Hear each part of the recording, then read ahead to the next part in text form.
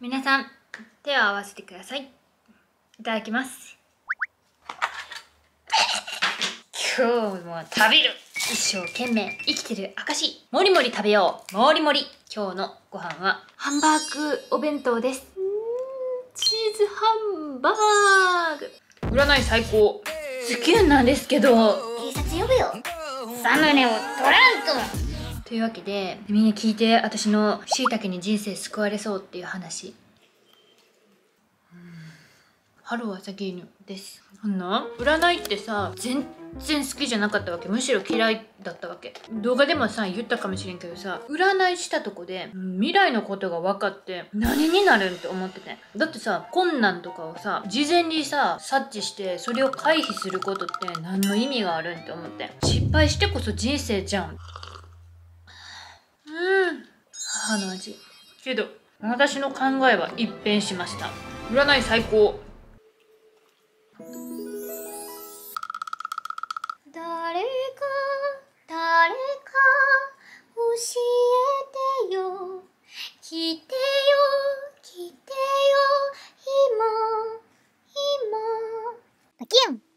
私初めてさしいたけがさ占ってくれるっていうあのしいたけ占いというものを初めて人生初めて開いたわけ。ツイッターのトレンドに上がってきてたからさ。んだ人生救われかけた。ほんまに。4月5月悩むこととかイライラしたりとか自分に対して起こるっていうことが多かったいのか。それがもうまるっとしいたけが教えてくれた。聞いてくれる？そのうちの結果。私さ天秤座なんやけど天秤座って別に何も紐づかない意味のなさやくだらなさって嫌いじゃない人であります。ってなったわけ。あなたは自分の調子を整えたり自分のギアを上げていくときに誰がどう聞いてもくだらないようなことを言ったりします。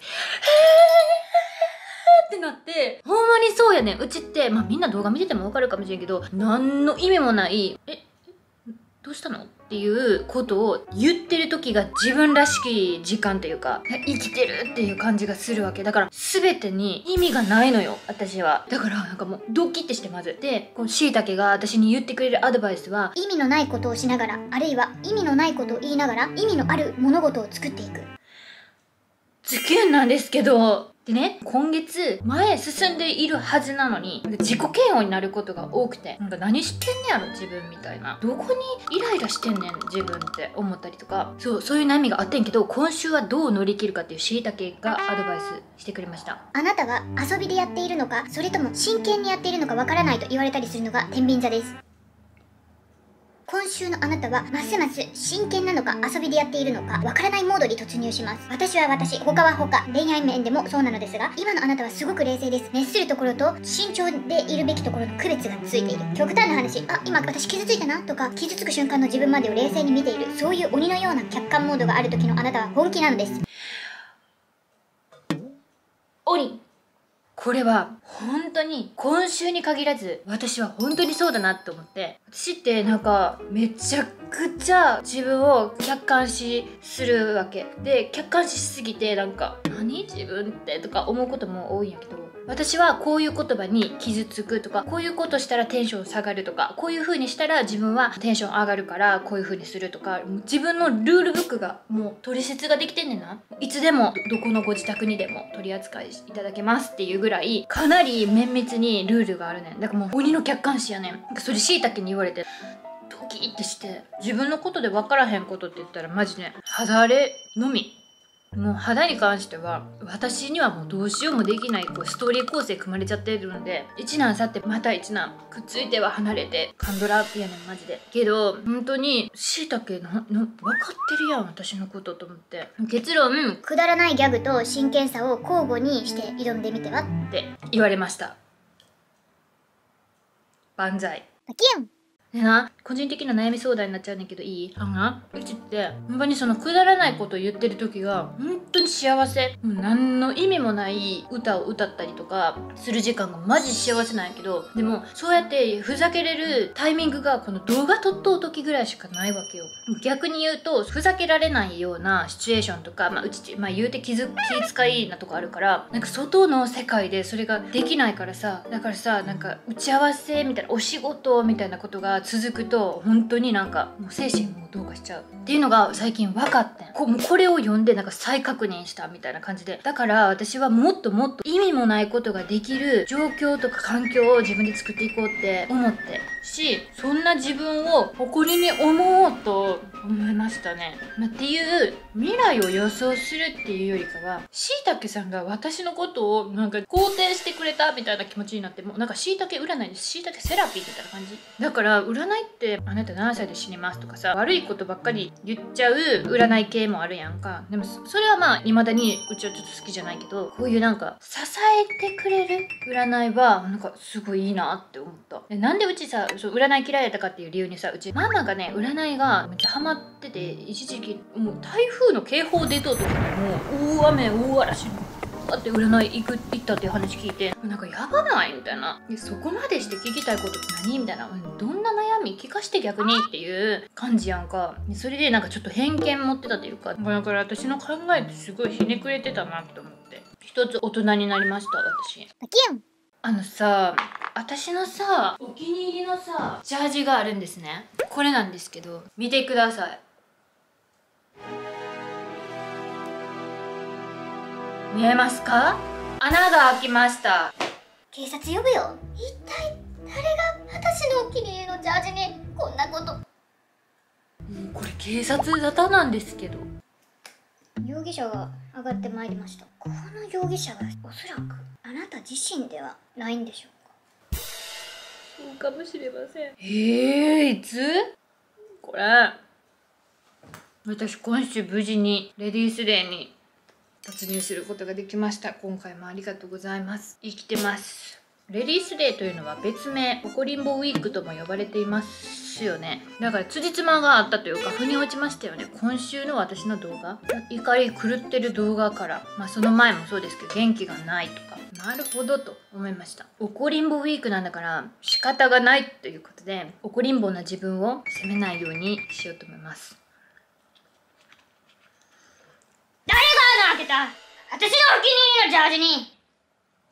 出てこそんな気持ちです。自分ですけどね多分。あサムネ撮ってない。いサムネを取らんとこんなもん。何かわからんと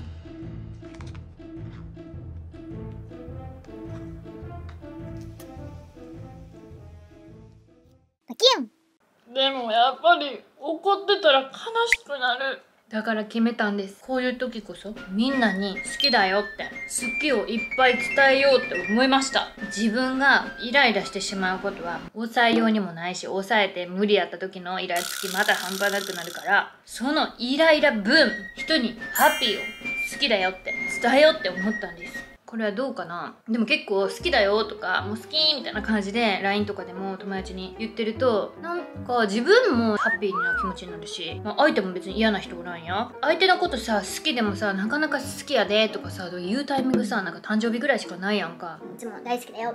これからもよろしくね。とか。でもなんか普段からそれ言っていくのって別に減るもんじゃないしその価値っていうのは薄れないと私は信じてるからそそうしますだからあの SNS とかでも結構好きって言うと思うんでもし差し支えがなければ好きって思ってくれてたら返してもらえたら嬉しいです。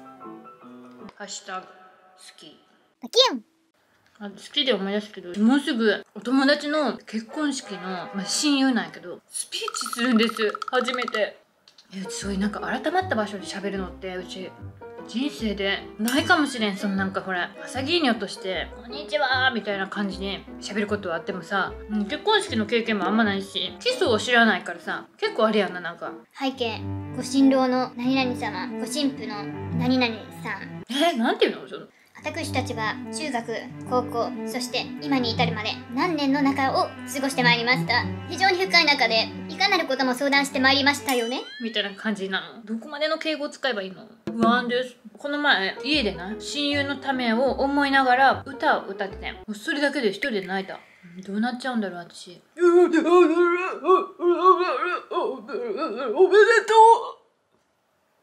こうなるとしか私思えないんだけど。バキュン。ビバ怒りんぼウィーク。かわいいおこりんぼウィーク。